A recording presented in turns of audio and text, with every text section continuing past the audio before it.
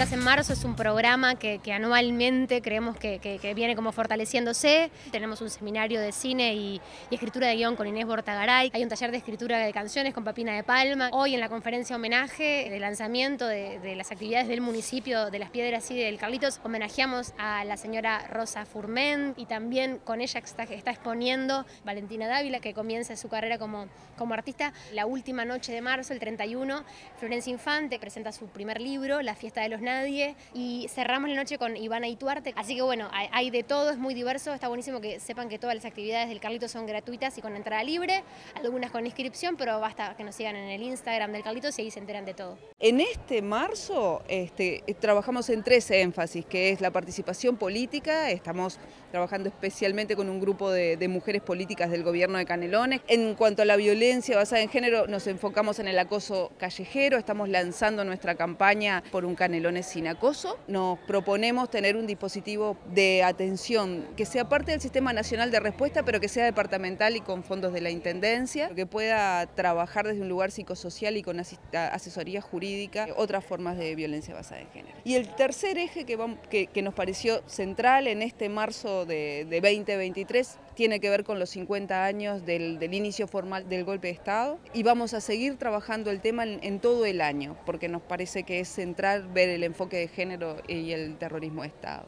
Para nosotros es muy importante eh, generar toda esta política y propuestas de trabajo que vamos a fortalecer en todo este año junto con eh, la Dirección de Género de la Intendencia.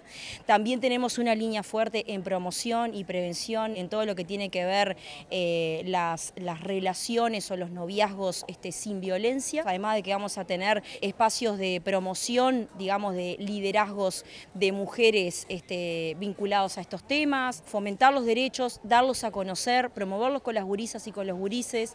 Y bueno, estas cosas son fundamentales.